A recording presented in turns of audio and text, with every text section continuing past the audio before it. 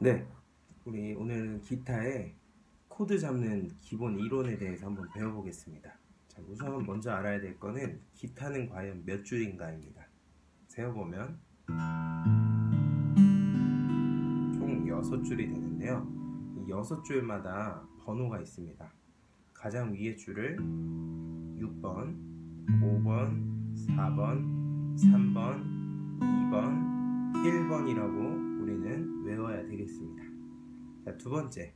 기타에서는 손가락 번호가 있는데요. 자, 왼손을 기준으로 해서 엄지를 T라고 부릅니다. T. 그리고 차례대로 1, 2, 3, 4. 엄지가 1이 되면 1, 2, 3, 4, 5가 되겠지만 기타에서는 엄지를 숫자라고 칭하지 않고 T 그리고 나머지 손가락을 차례대로 1, 2, 3, 4라고 외워주시면 되겠습니다. 자 이제 세 번째는 프렛이라는 것을 배워볼 건데요. 프렛은 뭐냐면 이 기타 줄 말고 기타 줄 사이에 있는 요 쇠 얘를 프렛이라고 합니다. 맨 앞에서부터 박혀 있는데 이곳을 1프렛이라고 하는데 쉽게 이해하기 위해서 첫 번째 칸 기타의 이 첫 번째 두 번째 칸, 세 번째 칸, 네 번째 칸, 다섯 번째 칸 이 칸을 프렛이라고 외워주시면 되겠습니다. 만약에 5프렛이다 하면 이렇게 되겠죠. 1프렛, 2프렛, 3프렛, 4프렛, 5프렛 이곳을 5프렛이라고 합니다. 그러면 6프렛이라고 하면 1, 2, 3, 4, 5, 6 아, 6프렛이구나. 10프렛을 한번 가볼까요?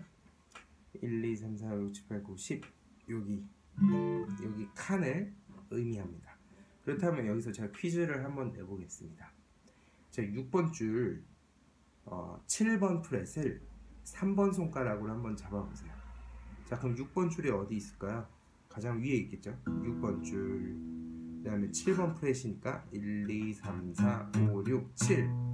그 손가락은 3번 손가락이기 때문에 이 3번 손가락으로 눌러주고 6번 줄을 연주를 해주면 되겠습니다. 같은 방식으로 하나 더 문제를 내보겠습니다. 이번엔 3번 줄입니다. 3번 줄 4번 프렛을 2번 손가락으로 한번 해보겠습니다. 그럼 3번 줄이니까 6, 5, 4, 3번 줄에 하나, 둘, 셋, 네 번째 칸을 몇 번 손가락? 2번 손가락으로 잡아보면 이런 소리가 난다는 거죠. 그럼 코드라는 것은 몇 번 줄, 몇 번 프렛을 몇번 손가락으로 잡아라 라는 이런 규칙을 통해 코드가 만들어지는 것이죠. 예를 들어 E 마이너라는 코드를 잠깐 해보면 E 마이너 코드는 5번 줄 2프렛을 2번 손가락으로 4번 줄 2프렛을 3번 손가락으로 잡고 6줄을 치면 E 마이너 코드가 된다는 규칙이 나옵니다.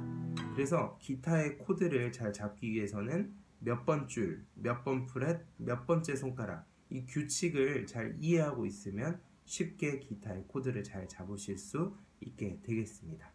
감사합니다.